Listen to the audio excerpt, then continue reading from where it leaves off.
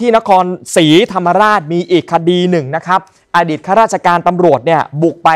ทะเลาะกกับญาติด้วยกันเอง เอามีดไปจี้เอวเขานะฮะ สุดท้ายกลายเป็นว่าโดนเขาฟันกลับมา ยับเลยนะฮะ เจ้าตัวเสียชีวิตตายคาที่นะฮะตำรวจสพร่อนพิบูลไปตรวจสอบ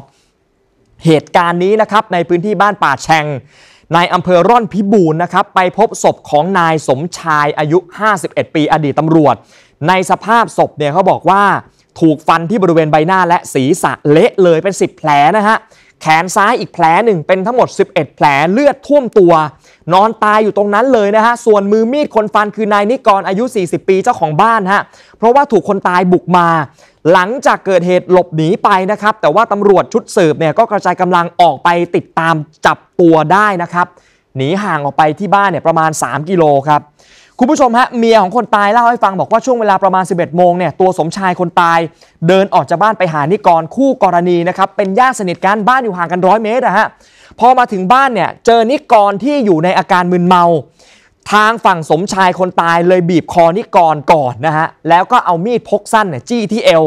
แต่ปรากฏว่านิกรดิ้นหลุดออกมาได้ แล้ววิ่งไปไปคว้ามีดพระครับ มาฟันสมชายยับเลย จนสมชายตายคาที่ แล้วนิกรก็หลบหนีไป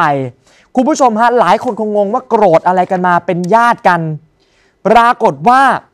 เรื่องนี้เนี่ยเอาจริง ๆ จุดเริ่มต้นเนี่ยยังไม่ทราบนะฮะว่าทะเลาะกันเรื่องอะไร แต่รู้ว่าคู่นี้มีปากเสียงกันเป็นประจำตั้งแต่ก่อนหน้านี้นะฮะโดยนิกรหลังจากถูกจับกลุมตัวได้เนี่ยสารภาพว่าที่ฟันไปเป็นเพราะโกรธจริง ๆ เพราะทางฝั่งสมชายคนตายนั้น บุกมาหาเรื่องถึงที่บ้านนะครับ โอ้โห แค่นี้เป็นญาติกันฟันกันตายเลยทีเดียวนะครับ ที่นครศรีธรรมราชนะฮะ